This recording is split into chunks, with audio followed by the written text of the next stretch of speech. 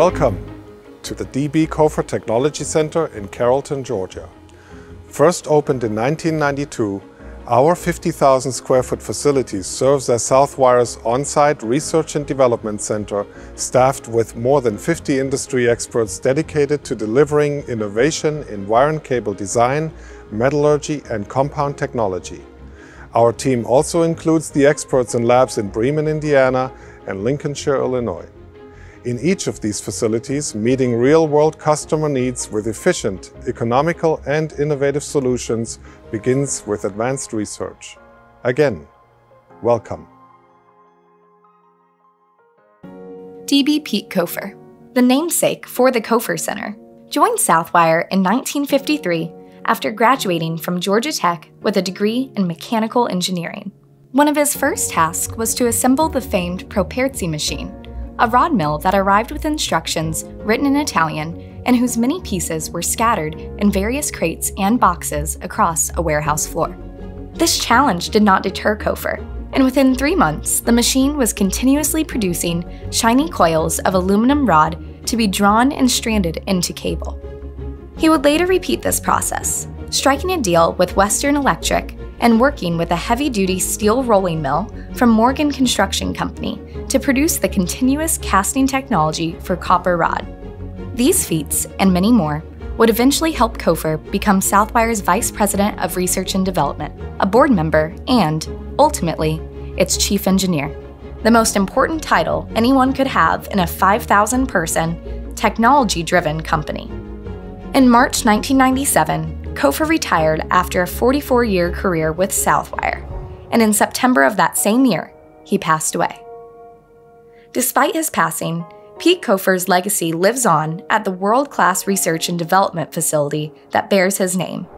We are an ISO 17025 and globally recognized A2LA accredited laboratory, specializing in the chemical, electrical, and mechanical fields, and our focus revolves around four key areas compound technology, advanced materials, advanced transmission technology, and new product development. Within our facility, we have four polymer labs, each equipped with high quality analytical instruments used for testing and improving our products. In our wet chemistry lab, we conduct halogen acid gas, hardness, and solvent extraction testing, and our analytical lab has the tools needed to identify and characterize insulation, shielding, and jacket materials. Our aging lab tests cables for heat, sunlight, weather, oil, and gasoline resistance, and our team in the physical properties lab can determine a wide range of characteristics, including tensile strength, elongation, flammability, and more. In addition to these polymer labs, our facility also boasts a compound extrusion area, an overhead conductor mechanical test lab, cable life testing area, qualification test area, and a high voltage test lab, featuring a 400 kV transformer, torsion tester, and an impulse generator capable of generating 1.2 million volts to simulate a lightning strike.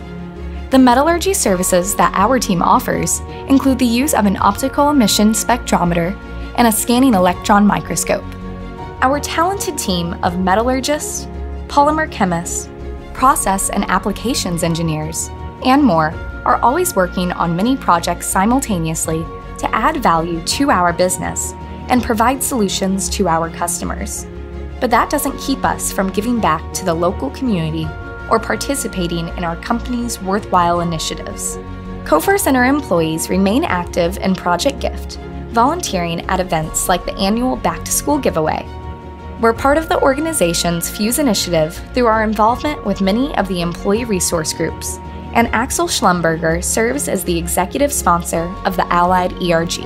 Through regular safety meetings and routine quality checks, our team also stays committed to our company's goal of creating and maintaining a culture of zero. So, that's a quick look at the DB Cofer Technology Center here in Carrollton, Georgia.